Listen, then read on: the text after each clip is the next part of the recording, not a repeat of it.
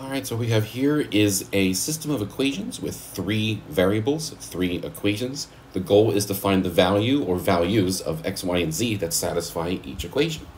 So there's a lot of different strategies for solving a system, but the, um, the main one is if you have three variables, the first goal is to get this down to two equations, two unknowns. So as you can see, this last equation only has an x and a y in it. So it makes sense to take the first two equations and eliminate the z. Remember, you have a lot of flexibility with which variable you eliminate, but we have to make sure that it's a, you know, that it's useful for us. So I'm going to take the first two equations and eliminate z. Now what that means is I'm looking at those coefficients. I want to make sure that they cancel each other out when we add. So we're going to multiply the first equation by negative 15 first which remember means multiplying both sides of the equation by negative 15. And that gives us negative 15x minus 15y minus 15z equals negative 4,500. And then I'm going to couple that with the second equation, the one with the 15 in it, because that was the one that kind of steered everything. And when we do that, we add them together, and let's see, negative 15x plus 10x is negative 5x. This is negative 3y. Those cancel out. And this is negative 1040. Now the first thing I notice is all three of those numbers are negative, so I'm going to multiply both sides by negative 1, which basically just means I'm switching the signs of everything, just to make the equation look a little bit cleaner and more friendly. Now we have an equation with x and y only. But I have another equation with x and y only. So now I'm going to take that equation and I'm going to pair it with that one now. So that system, that mini system, is going to allow us to find x and y. So to do that, we need to be able to, again, we could do substitution, we could do elimination, whatever. Um, I like to stick with elimination once I start with elimination.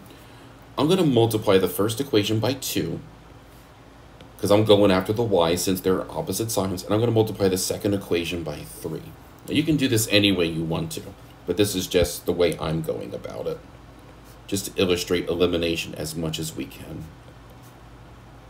So multiplying everything by 2, we get that, and multiplying the second one by 3, we get that. And then we're going to add those together, because that was the whole reason why we did this. Whoops, right effect, but wrong way to do it. I wanted to cross those out. So we have 13x equals 2080, which means x is equal to 2080 over 13, which I believe is 160. So we have x. Great. How do we get the other variables? Well, now I have to look back at all of the equations that we, that we have and try to find one variable at a time. Notice we have x minus 2y equals 0, so you can easily find y. So x is 160 minus 2y equals 0, which means 2y equals 160, which means y is equal to 80. So I'm just going to box these in here so we have our solution. And now we go back to one of the equations with x, y, and z. So if I scroll back up, Notice the first equation looks simplest to work with, so I'm going to use that one. You could use the second one if you wanted to. You should still get the same answer. So, with that said, we know that x plus y plus z is equal to 300. I know that x is 160. I know that y is 80. And when I add these two together, I get 240. So if I subtract 240 from both sides, I get z equals 60. So there's our solution. Now remember, we can also represent the solution as an ordered triple, which is x comma y comma z. And that means in this case, and it just so happens we found them in that order, that was kind of a fluke. But there we have it. So that is our solution to this system, which means if you substitute x equals 160, y equals 80, and z equals 60 to each equation, it'll work. And that is the only solution that works. Thank you for watching.